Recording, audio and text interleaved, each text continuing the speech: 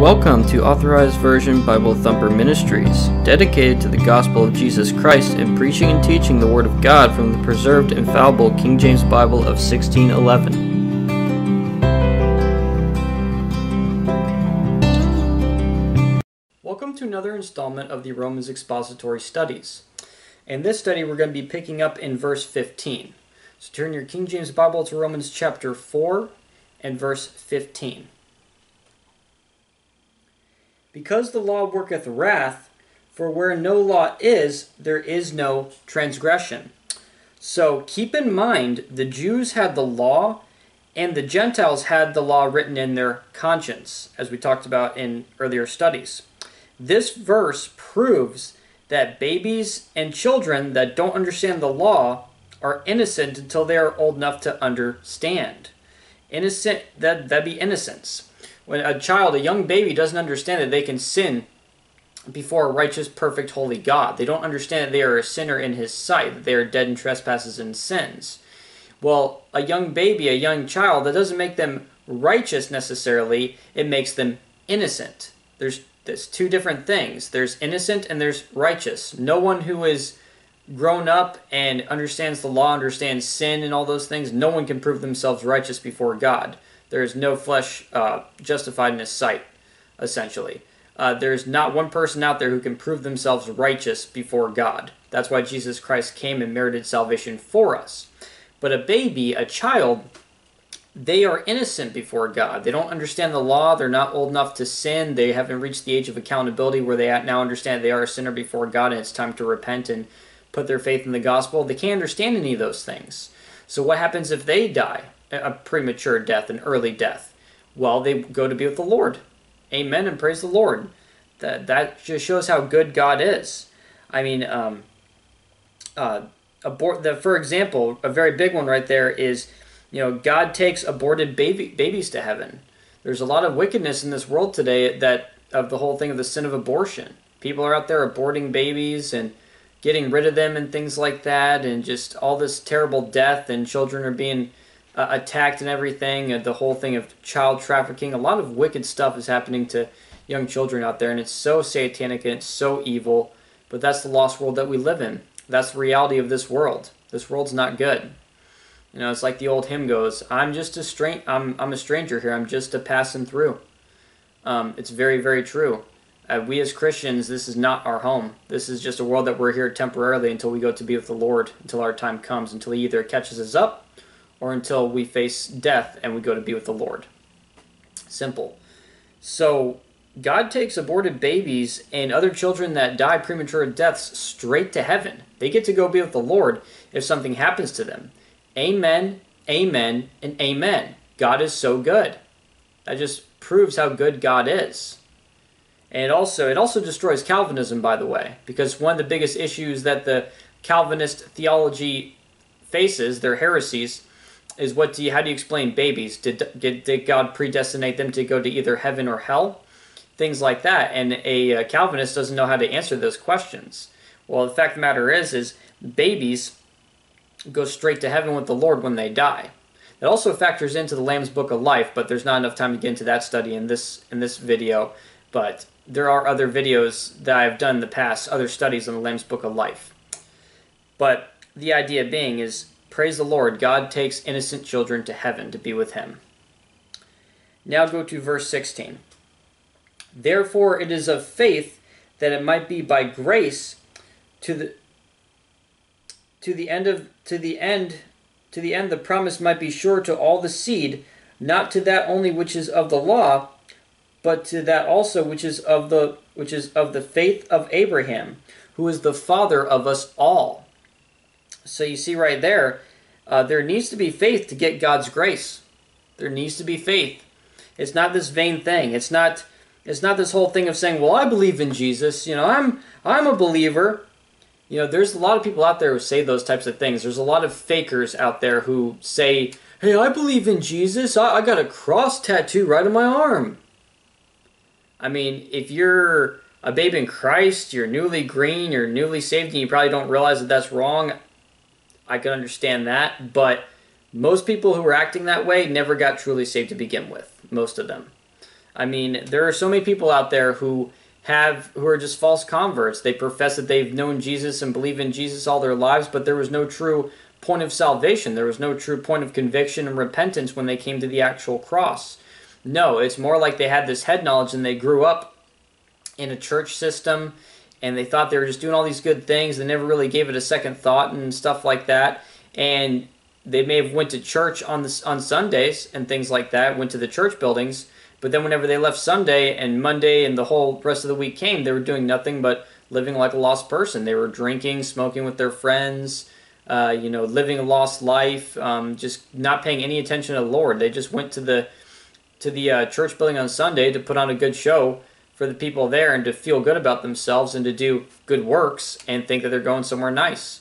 Vain religion. They don't truly believe what they're doing that is a false convert. That is someone who professes to know God and in works denies Him. Uh, that it's there's a lot of people out there that are like that, and it also talks about in 1 Corinthians 15 verses 1 through 4, uh, believing in vain. People can believe in vain. There are people that don't fully come to the cross. They have just a head knowledge. They never truly got saved. They never truly came to a point of trusting Jesus Christ for their personal sins against God. They never came to that point. They just professed to know God and they said a couple of nice things and that was it. Never really sat down and stuck their nose in the book, started studying this book right here. They just prayed the prayers, so to speak, and went to the went to their Sunday their Sunday services and that was it. And then those are the kind of people that die and they lift up their eyes being in torments. They're in hell. Because that is a false convert and that is vain religion. That's somebody just doing things and not really knowing why they're doing them. You know, it's really it's really a sad thing when you think about it. There's so many people in, the, in these buildings nowadays where they're up there and they're singing the songs, and they have no idea what they're singing. They are singing some some of those beautiful music for the Lord, beautiful hymns that have been written from uh, Christians in times past, and they have no idea what they're singing. You know, uh, there is power in the blood, things like that. When they sing that song, it's all vain. They have no idea why they're doing it, really. They don't even realize why they're singing it. Whereas when you get saved, when you get saved, it's a complete 360. You realize there is power in the blood. You realize there is, you know, the hymns that these that these actual hymns are actually, you know, are actually about you and your salvation and about other uh, brethren and their salvation. They these songs actually come alive. You actually realize why you're singing to the Lord rather than this vain, um, you know, the there's power in the blood, and you're just kind of doing it to, you know, please people at your local assembly and everything, a local church building, and you were never truly saved. For those out there, for people, for false converts and things like that. I mean, that's vain, again, vain religion. Whereas when you're saved and you sing those songs, you completely understand why. It's a part of my testimony. When I first got saved, I remember it like uh, plain as day. I totally understood why we sing these songs now. I totally understood Amazing Grace, how sweet the sound. I finally understood that, that music. It, it was it actually came alive to me. It, it made sense. It's God saved a wretch like me. Whereas before, when I sang that song, I didn't know what I was doing. I didn't really care that all I could think about is when does when am I out of here? when am I out of here and back on back home to doing my wicked stuff? You know, seeking after my my own um, fleshly lusts and things like that. That was my attitude back then. But then after being saved, it completely changed. It's it's it really is a miraculous thing, and that's people in their vain religion. And also back to verse 16 here. Notice it says, all the seed. Therefore is of faith that it might be by grace to the to the end to the end the promise might be sure to all the seed. Notice all the seed. That would be Jew and Gentile. We are of the faith of Abraham. Let me read that part too. But to but to that also which is of the faith of Abraham, who is the father of us all. Notice that, father of us all, the faith of Abraham. We are of that faith. And Abraham is quote unquote, you could spiritually, spiritually speaking, the father of us all, the father of our uh, the uh, the faith. You have Judaism, real Judaism, which is Old Testament uh, law, law keepers, and things like that. And then the New Testament came, which is New Testament Christianity, which fulfills the law in us when we accept Christ on the cross. We receive imputed righteousness. We receive his merits. God merited salvation for us so we don't have to do the works of the law anymore. So, what is Christianity? It is completed Judaism. That is what Christianity actually is. It is completed Judaism. That is what we are. Everything that the law says a Jew to do is fulfilled in us when Jesus Christ comes into us. When Jesus Christ enters this body that is dead in trespasses and sins and quickens us and makes us alive and makes us born again, we have now fulfilled the whole law in ourselves because Jesus merited it for us. We no longer have to keep the law. We're set free. Amen and amen and amen.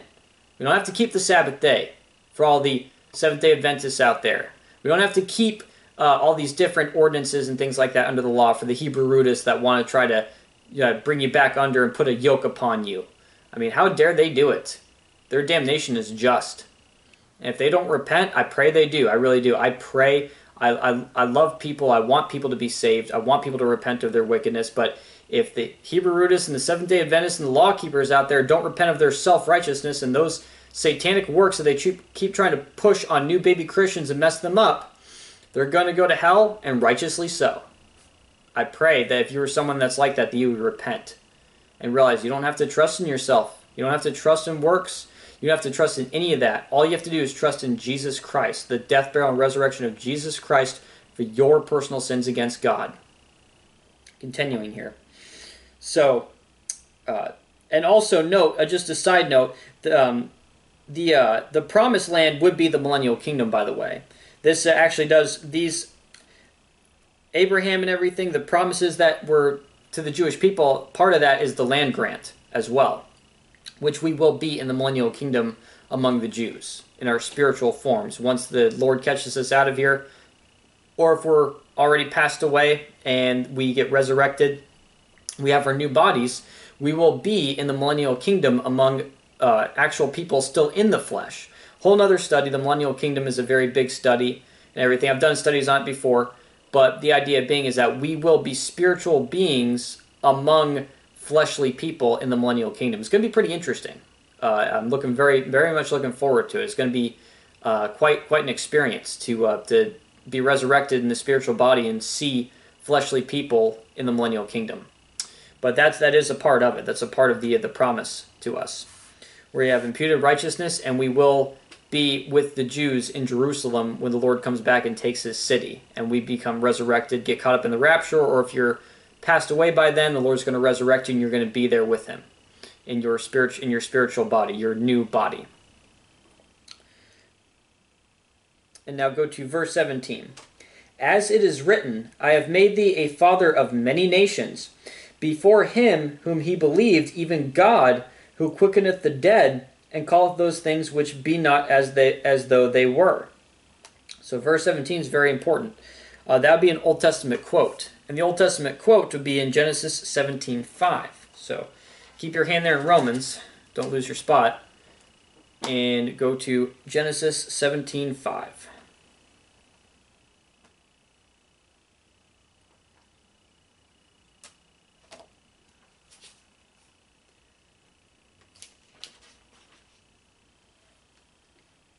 Neither shall thy name any more be called Abram, but thy name shall be shall be Abraham, for a father of many nations have I made thee. So that's an Old Testament quote. And as you can see right there, a father of many nations. That is Jews and Gentiles together. Again, amen. That's just so that's I mean that is really that really is amazing. That that prophecy in the Old Testament and then it is fulfilled. And then on top of all that, the mystery is revealed that many nations, that would include Gentile nations, Gentile and Jew together in the body of Christ. Amen. That that's praise the Lord for his book. Really. Praise the Lord. And then back to back to verse 17 here a little bit more. Before him whom he believed, even God who quickeneth the dead, and calleth those things which be not as though they were. So what's that saying there? That's basically saying that um, that Abraham was 100 years old and Sarah was 90 years old at the time. and God had to quicken their bodies for reproduction because the Lord was promising uh, Abraham heirs. That he was promising him uh, a people and everything like that. So part of that is Abraham was 100 years old and Sarah was 90. They're well past the age of being able to have children. so again, that's where God is quickening. That would be the quickeneth the dead, meaning the dead parts of the body, the dead parts of the body that aren't you know aren't reproducing the and everything like that. He had to quicken that and call those things which be not as though they were. So the Lord is the one who gave uh, them their children. The Lord is the one who gave Sarah her baby, and He did that by quickening those those parts that were dead, essentially, uh, on their bodies, the re- reproduction. And then verse 18 Who against hope believed in hope that he might become the father of many nations, according to, or according to that which was spoken, so shall thy seed be. So these next verses are stages of faith. They're very much stages of faith. We grow in faith, we get stronger. As, the, as time goes on and you're a Christian, if you're studying your Bible, you're really seeking the Lord, you're seeking truth, you're wanting to grow as a Christian, these are stages. You will begin to grow and become much, much stronger in your faith. They may not feel feel like it right now. I really want to speak to the newest, to the new brethren. Maybe some of you got saved within the last year, saved within the last few months. I don't know. Uh, just within a very short time frame that you've been a Christian. I really want to encourage you with this because I know this, the struggles that you feel when you first get saved. They feel almost impossible to overcome. And we're about to go over stages of faith right now. This is very important. So keep in mind, it's it's not abnormal to struggle really, really hard when you first get saved. And a lot of people, when they struggle like that, they tend to doubt their salvation. They have a lot of issues. They begin to kind of, you know, they begin to get doubtful, as and as a result, it's it's like Satan capitalizes on that and messes with their minds even more and, and makes them feel terrible. I, I you know, I, I really I, I talk with brethren, they have all these struggles and everything with, you know, things like that because they're new. They need to grow. And that's perfectly fine. And, you know, I being there to encourage, and especially for all you seasoned brethren out there, if you're watching this, being there as an encouragement to your younger brethren, being in, being an encouragement and letting them know, hey, you just got to grow. But we'll get into get into this. So we grow in faith, we get stronger. And Abraham knew, uh, knew he was too old to have children, yet he had hope even without reason to hope. That's what it's saying right there. Who against hope believed in hope that he might become the father of many nations, according to that which was spoken, so shall thy seed be. So again, you that's Abraham, he's he's against hope. He's against hope, believed in hope that he might become the father of many nations. So you see right there how he's essentially he realizes that he has no reason to hope. I mean, he he he's well past the age of having children, but he still has hope. He's trusting God. I mean, you come to God with a problem, and it feels, it really does, it feels like there's no hope, but yet you still have hope, and it begins to grow. Very important to understand. If you if you have a problem and you bring it to God and everything, you feel like there's no hope, but yet you still have hope. Why? Because it's God Almighty we're talking about here. it's God Almighty we're talking about. The, the one who can do all things. God can do anything. And that you still have that hope. And with that hope, it begins to grow. Your faith begins to grow. And when you start to grow, that's, I mean, it, it just gets so fun from there. It really does. It, it just as faith grows, as you grow as a Christian, it gets funner, funner, and funner, and harder, harder, harder, and funner at the same time because Satan and will attack you. He will wage the there will be spiritual warfare and everything as you grow. But at the same time, you're reading the Word, you're learning, you're learning about God, you're learning about doctrine, you're learning about instruction and righteousness, you're learning all these things that the Lord tells us about how to live our lives on this earth and also what to expect in the world to come. All these amazing, beautiful, wonderful things, and it's so fun. It's the greatest, and at the same time, of course, you're being attacked by Satan because he wages spiritual warfare and just spiritual warfare in general, war with the flesh, so on and so forth. So, again, uh, you begin to grow and you have hope. Verse 19. And being not weak in faith, he considered not his own body now dead when he was about an hundred years old, neither yet the deadness of Sarah's womb. So right there, now he's not considering these factors. All of a sudden, he's he's not considering the deadness of Sarah's womb or the fact that he's a hundred years old. Interesting. He's stronger in faith. If you let a problem overtake you and become bigger than God, it can mess with you big time. If you let something overtake you and you feel like there there's no way out and everything and you begin to forget in your mind that God is bigger than your problem, uh, it's going to mess with you. It's gonna it's gonna make I mean, and it's just going to be more spiritual warfare in, in those cases. I mean, God is bigger than our problems. That's something we have to remember. God is far bigger than anything we're facing, any problems we're having, any challenges. God is bigger than that, and He can do anything. So again, um, when it happens, you know you have to realize that God is bigger than your problems. Put your faith in that. Trust Him and watch your faith grow. You know, remember that. Whatever it is that you're facing out there, I mean, if you got to realize that God really is bigger than than that problem that you're facing, and that He will take care of it. He will take care of you. I mean, it, it's so important. If you really start to believe that that problem is somehow bigger than God, it's going to mess you up. You're gonna you're not going to have any peace, and it's just going to, you know, you got to realize that God's there and He will take care of you Now that the old hymn, God will take care of you. Not the best thing in the world, but you get the point. so, again, amen to that. Verse 20 He staggered not at the promise of God through unbelief, but was strong in faith, giving glory to God.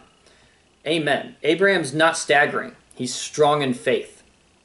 If you're struggling with things, maybe your own salvation because a lot of a lot of brethren go through that, etc. Um, you need to grow. Read this book because I was I was the exact same way. There were so many times where I doubted my own salvation when I first got saved. I was all over the place. I was having so many issues with sin and things like that at first, and sanctification. On top of all that, I was at the time I did not realize to rightly divide the Bible, and like I've said many times in these studies, if you don't rightly divide this book and realize what's being written to you and what's not, you'll get yourself screwed up. You'll go to scriptures that are clearly written to a group of people that can lose their salvation in the time of Jacob's trouble. The book of Revelation, when the Antichrist is here offering the mark to people, which we will not be here to experience, you will get all messed up. You'll start to think, can I lose my salvation? Do I have to keep myself do I have to keep myself in the love of God or do I have to keep myself saved? Uh, is the is you start to get all these crazy ideas in your mind and it really messes with you. What's happening? You haven't grown yet. Amen. That's what happened to me. I was not I was I didn't grow yet. I didn't realize that I need to really sit down and study this book. And it took a lot of mistakes for me to finally realize I need to take a step back and read this book, spend a lot of time in here and figure out what it actually says. Very, very important. Um, I can't stress that enough. Uh, you you have to spend time in the Word of God. You have to actually put work into this book, put work into study. Yes, it takes work. It takes a lot of work to study this Word and stu- study this book. You have to actually dedicate time to studying this book and spending 40 minutes, an hour, however long you need, really. I mean, uh, let your let yourself if if you have all the time in the world for whatever reason, go wild with this book. Spend as much time as you can. Spend five to six hours a day if you can do it if you don't get too weary in the flesh, I mean, go right ahead. Absorb as much as you can. Learn this book. Spend time with God, praying over it and everything like that. Uh, and you will see yourself grow. You will see yourself really growing from where you, where you once were. So again, it's it's one of those things when people, when brethren and stuff that are struggling with, with their salvation, things like that, you just have to grow. You have to grow. Simple. Get in the Word, stay in the Word. And verse 21. And being fully and being fully persuaded that what he had promised promised he was all he was able also to perform. Very important right there. Fully persuaded. Now you see Abraham right here, fully persuaded. That's a profound statement. Uh, Abraham's faith grew. You know, no move, no moving uh, Abraham at this point. I mean, again, God can do anything. Right there, Abraham's fully persuaded now. God can do anything, and Abraham knows it, as it's talking about these stages. And you know, it reminds me of how we are as how we ought to be as Christians, how we ought to be for the brethren out there. Um, we should very much be fully persuaded. I am fully persuaded that I am eternally secure, born again. I have a perfect Bible. This is God's perfect book in the English language. Uh, I that I will be cut up before the time of Jacob's trouble. I am fully persuaded that I will be raptured out of here before the time of Jacob's trouble, before the book of Revelation comes to pass and the Antichrist is revealed. We will be gone before then. I am fully persuaded. There is no changing my mind. Any heretic comes at me, I know exactly how to cut him down with this sword. Very important. I know how to take the Bible and cut him down to size and prove, prove to him that he's completely wrong and heretical and he needs to repent but I'm fully persuaded on that. I'm fully and I'm fully persuaded that you don't have to keep the Sabbath day or any other Jewish ordinances and will be resurrected at the last day. I'm fully persuaded. I don't have to keep the Jewish law. I don't have to do anything to keep my salvation or prove something to God or something like that. I have to sanctification's there. All those types of things, you know, having a God living godly in this present world, having a godly changed life. Yes, amen and amen. But I am fully persuaded that I do not have to keep Jewish ordinances in order to be saved. I don't have to keep the Sabbath day. I don't have to keep any of that. All I have to do is love my neighbor as myself. I mean, and I will be resurrected at the last day. I'll be resurrected. God finished his work in me, eternally, eternally secure. If you are truly saved out there, then you have the exact same future coming for you. Amen, amen, and amen. and verse 22. And therefore it was imputed to him for righteousness. So you see right there, again, imputation. Uh, Abraham is a typology of what we are now. That's the doctrine of imputation. It's been imputed to him for righteousness. We have the merits of Jesus Christ imputed to us for righteousness. Meaning, the death, burial, and resurrection of Jesus Christ, the perfect life that he lived, the perfect Jewish life. He was a perfect Jew under the law. He kept all the ordinances, he kept all the days, he did everything correctly. He imputed and merited all that for us and imputed it to us at salvation. We are justified freely by his grace. That's what he did for us. So again, no law keeping. You don't have to do it. It's already been fulfilled in you. The Holy Spirit that's in you already fulfilled the law. Therefore, you don't have to keep the law. Amen again. And a typology. Remember, as I said in the previous studies, Abraham was not eternally secure per se in the Old Testament. He was not eternally secure. He was not born again the same way that we are now. The Holy Spirit didn't come and live inside him forever. It wasn't Ephesians 4:30. Ephesians 4:30, that scripture is the, is a New Testament scripture for Christians. Abraham had to have there were works involved. He was doing things, God was having him prove himself and things like that. He had to have faith plus works. But again, he is a type of what we are today imputed righteousness for falling for trusting in God in the Old Testament. Very important. Typologies are, are wonderful in Scripture. They really are. They're, they're amazing. And verse 23 Now it was not written for his sake alone that it was imputed to him, and that would be real quickly. Now, it was not written for his sake alone that it was imputed to him. Now, it was not written. Well, what is that saying? Well, actually, jump on over to Romans 15. Keep your hand there Romans uh, 4. Romans 15.